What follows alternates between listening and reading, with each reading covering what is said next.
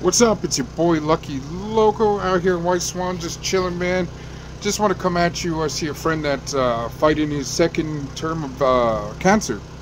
And it made me think about uh, and appreciate the problems that I have. There's minimal problems I have compared to everybody else. I know it's it's cool to vent and it's cool to complain, but man, just be grateful that you have a solution to your problem.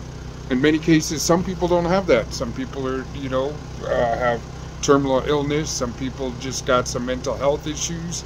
Uh, you know, there's certain pills that you can't take to, you know, solve these problems. And, you know, I'm just super grateful that my problems are minimal. My problems are stressful. Life is stressful, but it throws a curveball at you, and it's just, uh, you just got to learn how to deal with it.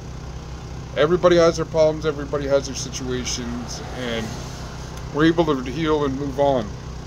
You know, there's a lot of stuff that goes on in life, but what made me think of my homeboy, it's because uh, it's his second term, his second term of uh, of cancer, throat cancer, and he he's a you know he was an MC. He he, he rapped. He's uh, a lot of us were in the trenches together.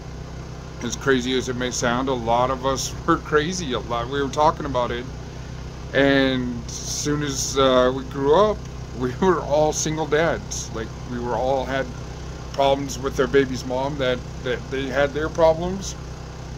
And we had to pick up where they left off. You know, and he's still a single father. No, he's actually married now, so you know.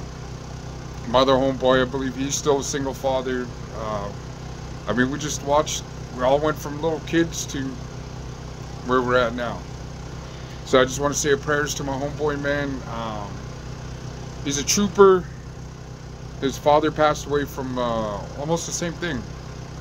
You know, uh, he's got a lot of family out there. It's just uh, a lot of friends. Um, very loved guy, man. He's uh, I can't. There's not anything I can say about him. I mean, we've done stuff in the streets. We had our little beefs here and there but there's nothing I can think of to say that you know. Of any track record, I can say, man, this dude, you know.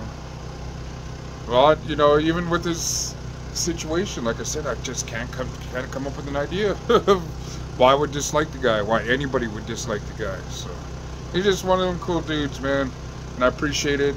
Just remember, man, it's cool it's cool to have our problems and to deal with it, but just remember, be grateful the problems that we have is somebody else's solution too at times.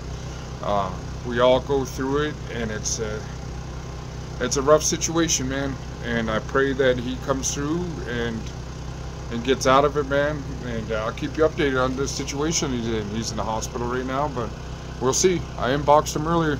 Much love and respect, you guys.